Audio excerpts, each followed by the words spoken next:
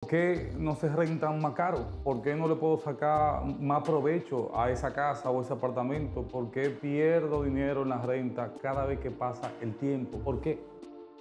Vamos a entender esto de la siguiente forma. Muchas veces heredamos una casa y tenemos esa casa hace 50 años. Esa casa es muy grande y funcionaba bien en ese tiempo, pero con el paso del tiempo ya no la puedo alquilar más cara. Con el paso del tiempo ya la gente no me quiere pagar más por esa renta. Y comienzo a perder dinero. Y comienzo realmente, sin darme cuenta, cada vez que pasa el tiempo, ganar menos. ¿Por qué será ese caso? Porque ahora no puedo subir la renta. Y ahí le voy a explicar el concepto de lo que se llama la mímesis. Es una muy buena forma de entenderlo. Cuando ustedes han visto un lagarto, ustedes han visto un pulpo, ¿cuál es la forma de ellos defenderse en función al entorno? ¿Cómo ellos actúan? ¿De qué manera ellos sobreviven en el tiempo?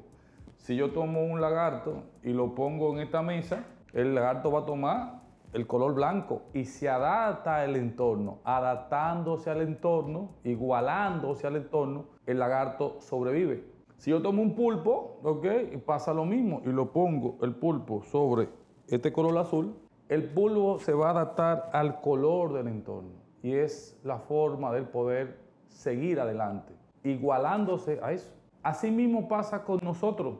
En la medida que esa casa que tenemos no se adapta al entorno, no sobrevive. En la medida que esos apartamentos o esa estructura que, que hicimos no se adapta al entorno, pues muere, porque el entorno no la deja sobresalir. Entonces, ¿qué quiere decir eso? Que el error que tuvimos antes es que construimos una propiedad, eh, levantamos una obra que solamente funcionaba en ese tiempo, en esa temporada, en esos 3, 4, 5, 10 años. Pero luego fuera estática, no había forma de que fuera mutable, de la que, la podamos cambiar, que la podamos adaptar igual a ese entorno para poder sobrevivir y cada vez aumentar la renta. Si nosotros llevamos esta analogía a una estructura, pues pasa lo mismo. Cuando nosotros analizamos la demografía de hace 50 años, una casa grandota de 300 metros era muy rentable. Era muy, se alquilaba, porque eran familias grandes. Había mucha necesidad de espacio en todos los pueblos, en todos los países, principalmente en las Antillas, Nicaragua, en Panamá, República Dominicana, en todos los sitios era muy funcionable. Pero ahora pasa los tiempo y esa casa grandota de 300 metros no se adapta al entorno y comienza a perder. Y nos damos cuenta que para una familia joven que tiene uno o dos hijos, es innecesario tener 300 metros cuadrados de construcción y no, la quieren pagar o pagan muy poco y ahí perdemos nosotros. Sin embargo, si esa estructura desde un principio la hubiéramos podido subdividir, la hubiéramos podido rediseñar y la hubiéramos podido, ojo, adaptarla a ese entorno, a ese mercado, como se adaptó el pulpo, como se adaptó el lagarto, pues de 300 metros sacamos 10 de 30 metros y ahí sí es muy accesible. Y eso que no producía un peso, ahora produce mucho más en la medida que se da la mímesis. La mímesis en arquitectura es un concepto que se ha usado de diferentes tipos. Ahora lo estamos hablando en función a la renta, pero antes también se usaba en la milicia, como esas grandes, en las guerras, ¿ok?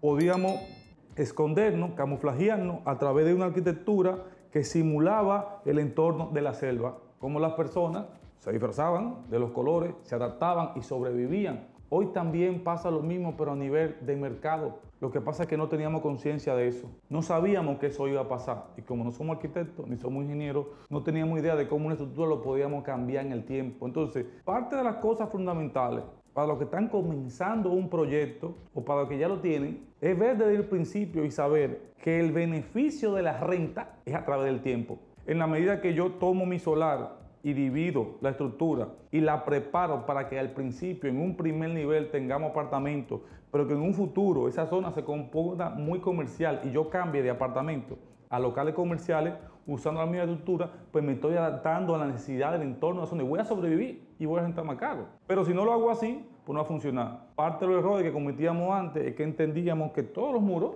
que todas las paredes de una estructura cargaban peso. Y hoy nos damos cuenta a través de los sistemas que no es así, que hay paredes que sí van a tener una responsabilidad estructural, por eso van a tener una composición de hormigón o el sistema natural de, de y cemento, pero que hay otras paredes, ojo, que simplemente fugen como división. Como división, esta pared que yo tengo aquí, esta pared de vídeo no aguanta peso. Si aguantaba peso, el vídeo tuviera roto. ¿Qué quiere decir? Que el peso lo está aguantando esa viga. Yo puedo quitar esa pared y hacer una ampliación, sintetizar el espacio, unirlo con otro. Y lo que antes era grande, lo convierto en varios pequeños. O lo que antes era pequeño, lo convierto en varios grandes. La mímesis nunca va a ser hacer los espacios más chiquitos o más grandes, sino adaptarse al entorno. Yo puedo tener un apartamento que tiene varios espacios, sala, comedor, cocina, baño, y de repente lo puedo subdividir y hacer un solo para una farmacia, hacer un solo para un salón de belleza, hacer un solo porque el sitio, el mercado me está pidiendo eso. Y me doy cuenta que si rento el apartamento solo me va a dar 15 mil pesos, pero si lo rento el mismo espacio para un tema de una farmacia comercial, porque la zona es comercial, en vez de darme 15 mil pesos, me va a dar 40. Entonces estoy sobreviviendo ante el mercado. Pero eso se pudo dar porque desde el principio tomamos en consideración que eso iba a pasar. Tenemos muchos casos aquí en oficina, en muchas familias, que están perdiendo mucho dinero.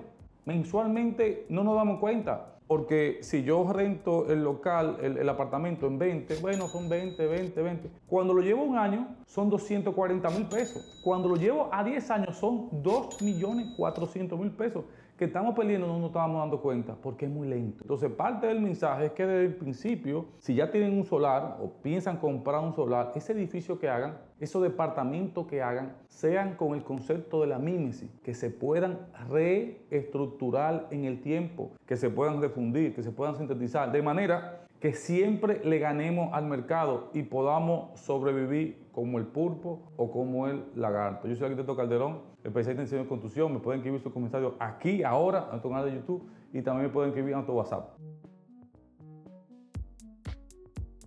Muy bien, una nota. Miren, yo sé que muchos de ustedes quizá no han vivido esta experiencia, pero quizá tienen un familiar, un tío, un hermano que están pasando por esta crisis. Yo les sugiero que si ustedes lo ven bien, le puedan compartir este mensaje, porque quizás ellos pueden encontrar la solución a su situación. Nos vemos en el siguiente video.